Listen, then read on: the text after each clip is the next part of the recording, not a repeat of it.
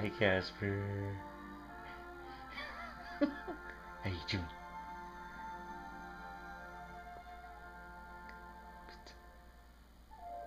Pizza?